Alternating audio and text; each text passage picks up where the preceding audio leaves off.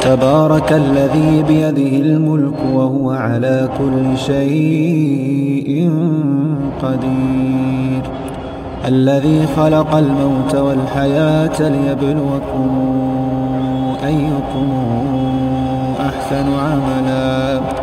وهو العزيز الغفور